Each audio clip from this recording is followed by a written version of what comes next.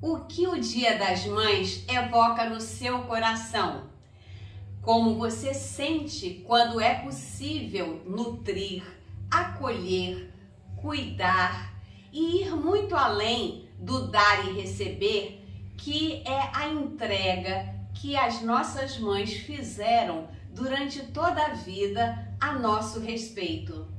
E como podemos aprender com elas a também trazermos para o mundo, para aqueles com quem nós convivemos, esses atributos maternais. Que o Dia das Mães traga a você sentimentos que possam criar movimentos especiais na sua vida como um todo.